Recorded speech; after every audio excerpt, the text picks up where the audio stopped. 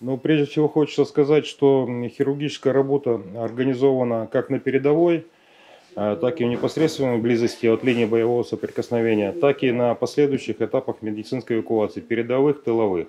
После чего раненые отправляются а, в тыловые госпитали, центральные и окружные. А, Хирургическая работа не зауживается, не зациклена. Она постоянно ведется в соответствии с реалиями, современными требованиями и э, той медико-тактической оперативной обстановкой, которая постоянно меняется. То есть мы постоянно подстраиваемся под те условия работы, ну, как говорят, что военно-полевая хирургия – это хирургия в плохих условиях. Но, как вы видите, здесь довольно-таки хорошие у нас условия, и уже постепенно мы такие условия создаем на всех этапах медицинской эвакуации.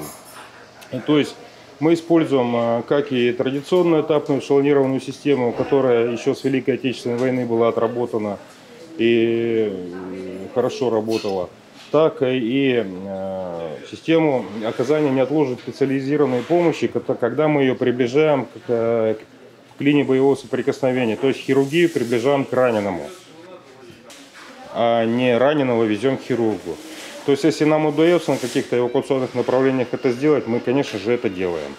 Если не удается, если сложная медико-тактическая и оперативная обстановка, то тогда используется традиционная этапная эшелонированная система, когда мы развертываем последовательные этапы медицинской эвакуации от первой врачебной помощи до специализированной хирургической помощи.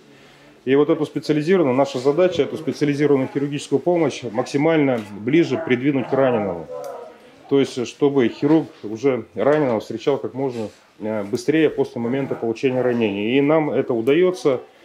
Э, Различные сроки раненые получают специализированную хирургическую помощь. Это и в течение полутора-двух часов с момента ранения, но не более суток.